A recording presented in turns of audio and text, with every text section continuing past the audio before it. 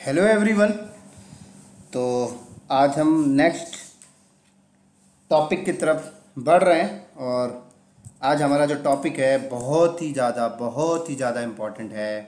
मैं यहाँ पे लिख के आपको बताता हूँ। A W S route fifty three route fifty three ठीक है? इतना ज़्यादा इम्पोर्टेंट टॉपिक है दोस्तों कि इसके बिना तो समझ लो ए डब्ल्यू पे जो सेटअप आप लगाते हो, वो अधूरा रह जाएगा। ठीक है? बहुत ही ज़्यादा इंपॉर्टेंट टॉपिक है।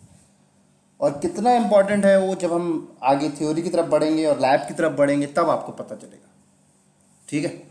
हाँ अभी फ़िलहाल मैं आपको इतना बता दूँ, ये जो टॉपिक है रूट फिफ्टी थ्री ये दोस्तों, ये डीएनएस का रिप्लेसमेंट है। किसका रिप्लेसमेंट है? डीएनएस और जैसे कि आपको पता है डीएनएस करता क्या? डोमेन नेम सिस्टम तो ए वालों ने डीएनएस के रिप्लेसमेंट में आपको रूट 53 की सर्विस दी है। तो अभी रूट 53 है क्या?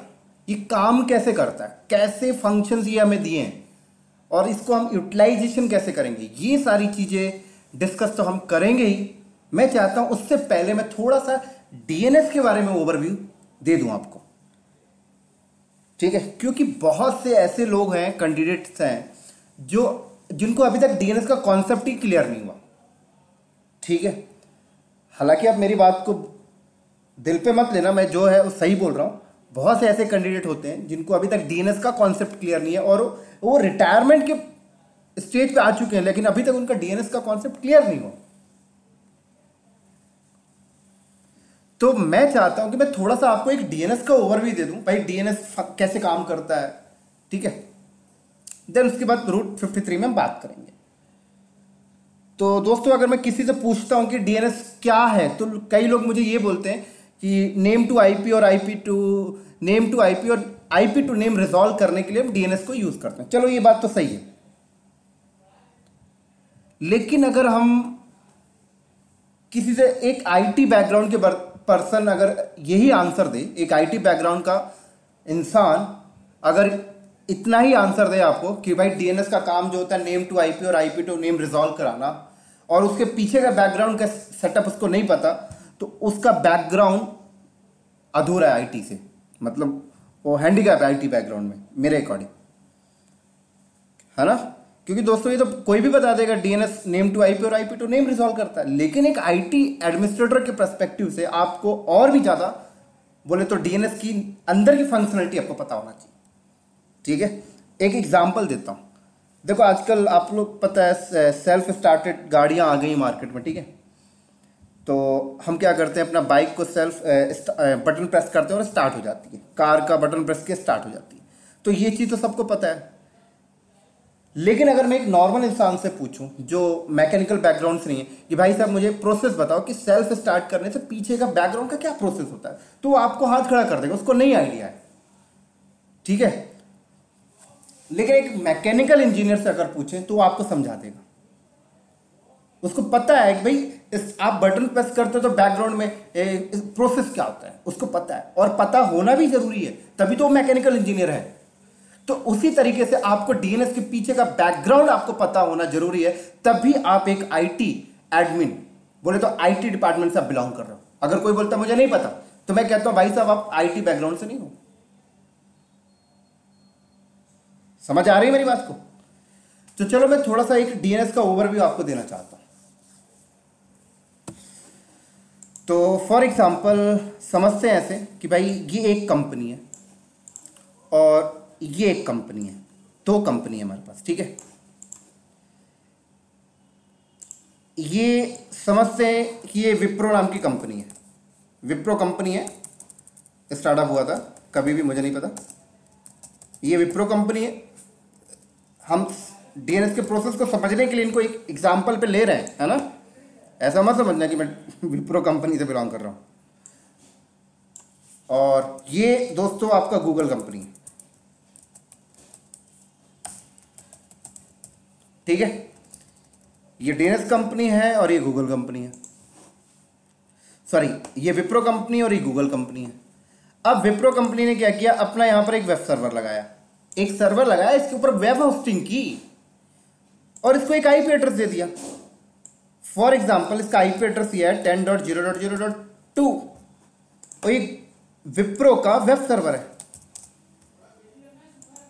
ऐसे ही गूगल ने यहाँ पर अपना वेब सर्वर लगाया और इसका आईपी एड्रेस गूगल ने क्या रखा? मान लो twenty dot zero dot zero dot two ये गूगल का वेब सर्वर है। तो अगर मैं बात करूँ कि मुझे विप्रो कंपनी का वेब सर्वर एक्सेस करना है तो आईपी एड्रेस को हिट करूँगा, एक्सेस कर लूँगा मैं। ऐसे गूगल के वेब सर्वर को हिट करना है तो मैं गूगल के वेब सर्वर का आईपी एड्रेस हिट करूँगा और एक्सेस कर लूँगा। लेकिन आप एक नोटिस करो, क्या हम कभी गूगल के वेब सर्वर का आईपी एड्रेस डालते हैं? क्या कभी हम विप्रो के वेब सर्वर का आईपी एड्रेस डालते हैं? नहीं, हम तो एक नेम हिट करते हैं। है ना? W W dot Wipro dot com W W dot Google dot com तो बैकग्राउंड में होता है क्या मैं आपको समझाता हूँ।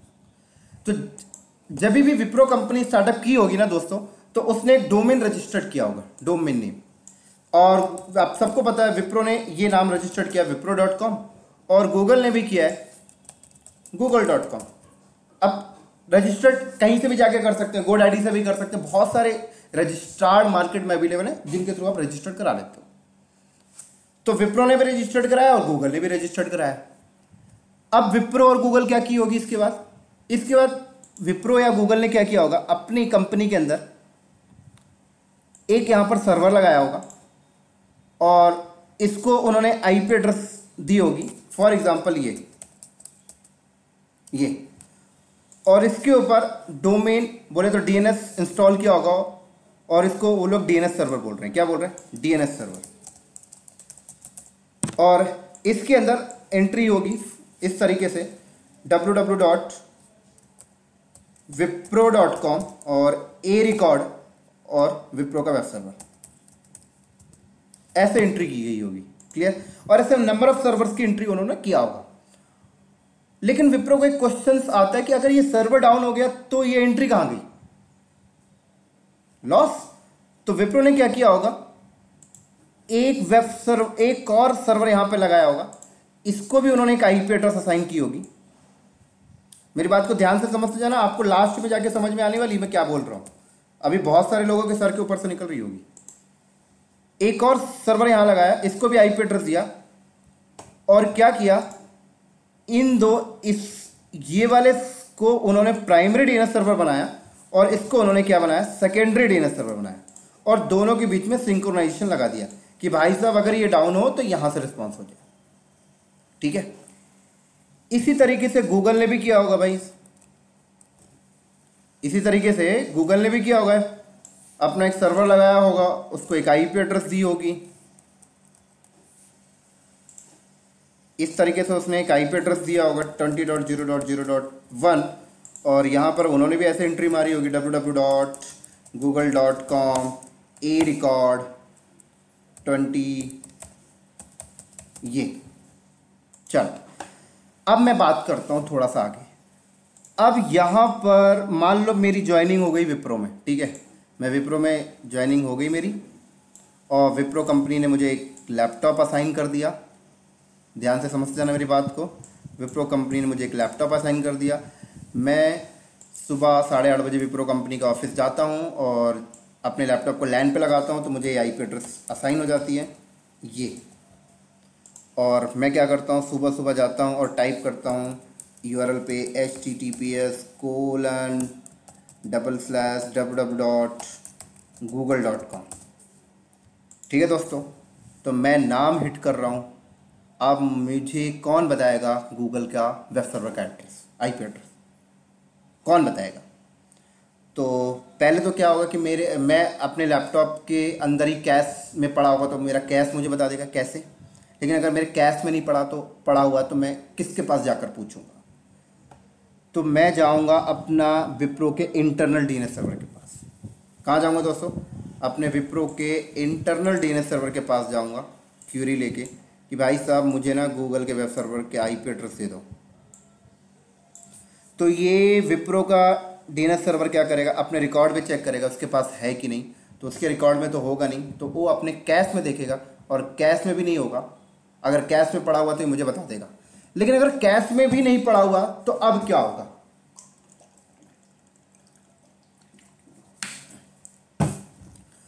तो अब विप्रो का ये प्राइमरी डीएनएस सर्वर क्या करेगा? ये प्राइमरी डीएनएस सर्वर जाएगा इसके पास। किसके पास दोस्तों?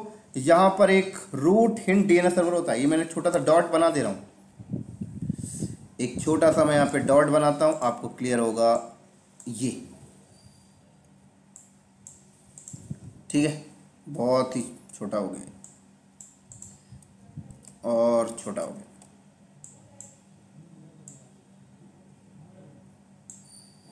ये। तो डॉट क्या है दोस्तों? ये डॉट है रूट हिंट डीएनएस सर्वर मैं बताऊँगा अभी और डिटेल में। रूट हिंट डीएनएस सर्वर इसको बोलते हैं। तो मेरा विप्रो का डीएनएस सर्वर क्या करेगा? रूट हिंट डीएनएस सर्वर के पास जाएगा और इससे जाकर पूछेगा भाई, www.google.com का एड्रेस है क्या तेरे पास? तो रूट हिंट डीएनएस सर्वर क्या बोलेगा? मेरे पास www.google का एड्रेस तो नहीं है, लेकिन मेरे अंदर. डॉट कॉम का एड्रेस है। किसका एड्रेस है? डॉट कॉम का। मैं यहाँ पे बोल देता हूँ डॉट कॉम का है डॉट यूके का है डॉट सी एन का है डॉट इन का है है ना? Dot multiple. इसको दोस्तों हम कहते हैं टॉप लेवल डोमेन। क्या कहते हैं? इन सबको हम कहते हैं टॉप लेवल डोमेन। मैं यहाँ पे लिख देता हूँ। Top level domain server. या डीएनएस सर्वर बोलो आप। तो मेरा रूट इन डीएनएस सर्वर बोलेगा कि मुझे www.google का एड्रेस तो मेरे पास नहीं है, लेकिन डॉट कॉम का है।